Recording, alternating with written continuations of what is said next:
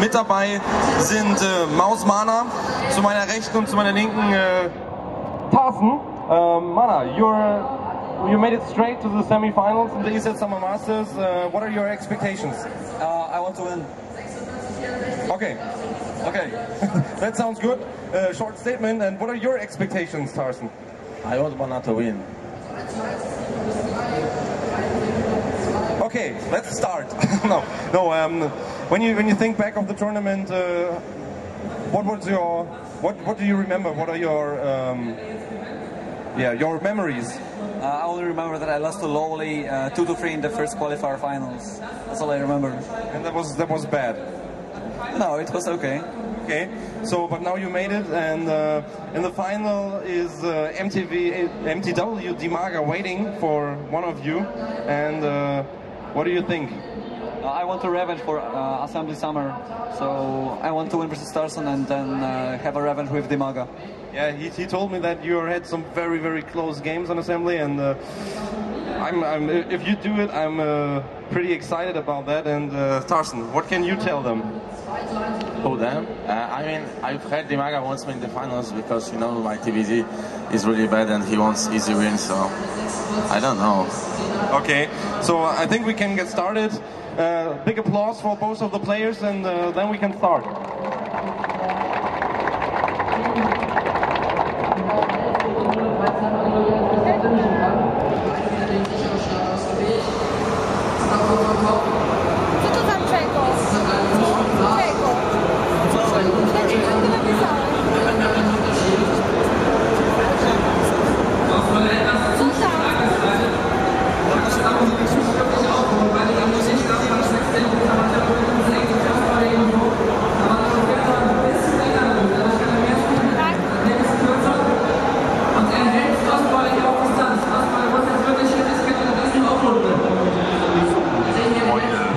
Sind fast bereit. Mana muss noch kurz sein Headset checken.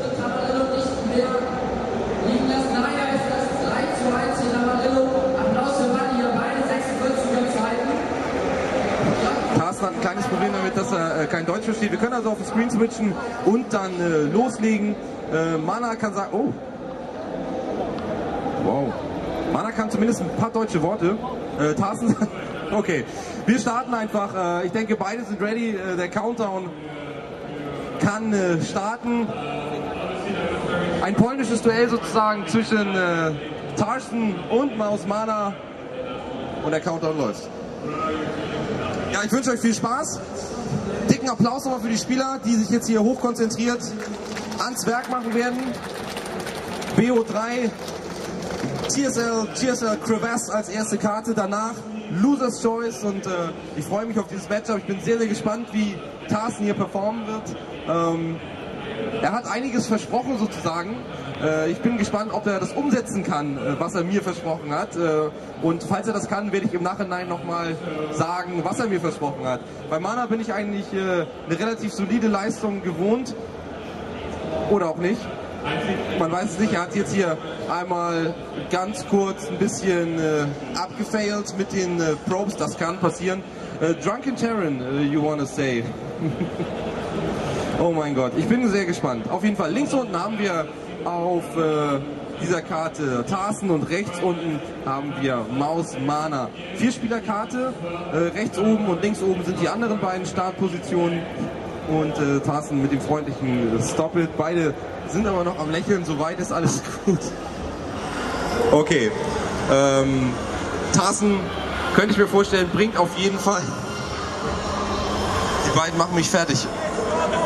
Ja, ähm, wir schauen mal. Also Tarsen wird, denke ich mal, mit einem Reaper starten und ich könnte mir vorstellen, dass wir eventuell eine Banshee sehen werden und äh, auf der Seite von Mana bin ich eigentlich ein solides Makroplay gewohnt, beziehungsweise einen etwas konservativeren Style. Mal sehen, äh, ob er eventuell hier mal was anderes zeigen wird. Die Karte hat auf jeden Fall eine gute Möglichkeit auf eine weitere oder schnelle Base, eine schnelle zweite, beziehungsweise daraus resultierend eine schnelle dritte, weil die erste hier sehr einfach äh, zugänglich ist. Gleiches gilt natürlich auch für den Terra. Ja, oben wird gescoutet. Mana erstmal in die falsche Richtung. Ich denke aber auch Tarsen eventuell erstmal mit dem falschen Riecher. Gate wird jeden Augenblick fertig. 17 Supply auf der Seite von Maus Mana. Und äh, dann denke ich mal, sehen wir relativ schnell den Core hinterher. Orbital Command standardmäßig bei 16 auf der Seite von Tarsen. Erster Marine ist draußen. Scouting wird hier also nicht ganz so leicht. Oben sehen wir die Probe auch erstmal noch nach Top Left wahrscheinlich, um äh, dort Hallo zu sagen. Danach ist dann natürlich klar, wo die Reise hingeht. Aber auch Tarsen hat äh, seinen Gegner hier noch nicht gefunden. Core läuft, 21 Supply aktuell. Schauen mal, 18, nee 16 sind es hier, ist ein bisschen unscharf auf dem Monitor. 16 zu 20 haben wir im Arbeiter-Count auf der Uhr.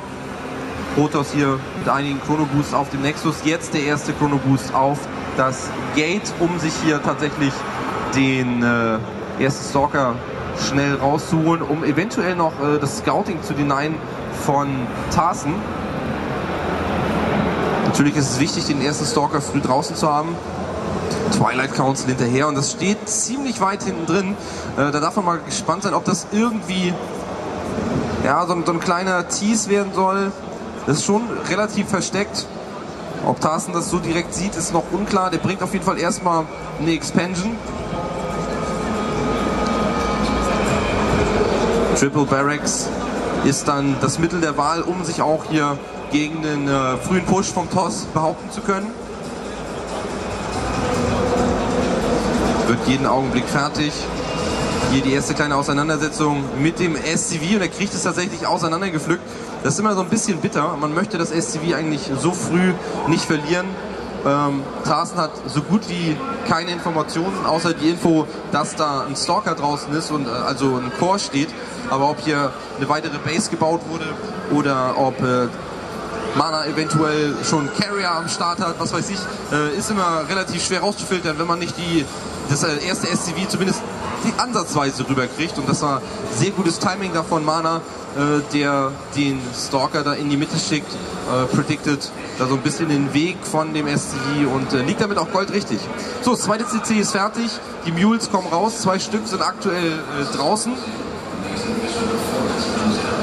Income dementsprechend ganz gut beim Terra. Ja, das Reaper Opening hat Tarsen sich dann doch verkniffen. Bunker wird befüllt. Ja, und wie gesagt, die Base ist so sicher hier oben, da kann eigentlich nichts schief gehen. Äh, man muss lediglich diese Choke hier bewachen. Man hat hier sogar noch eine zweite Rampe, äh, die man eventuell nutzen könnte, falls es hier mal eng wird.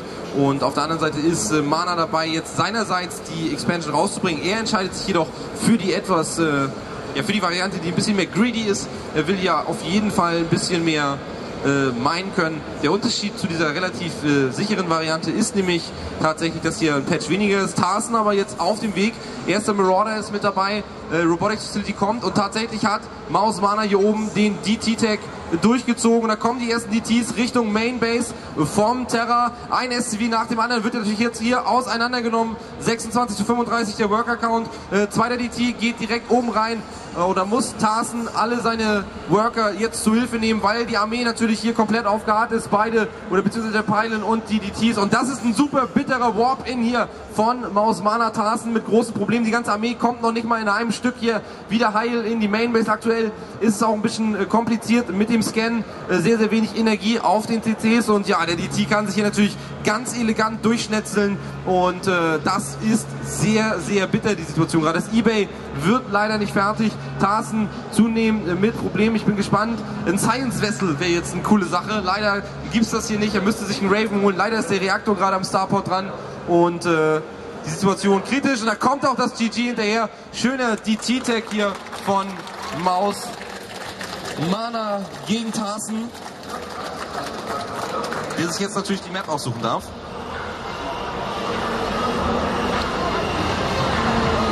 So, wir schauen kurz, äh, welche Karte der gute Mann will.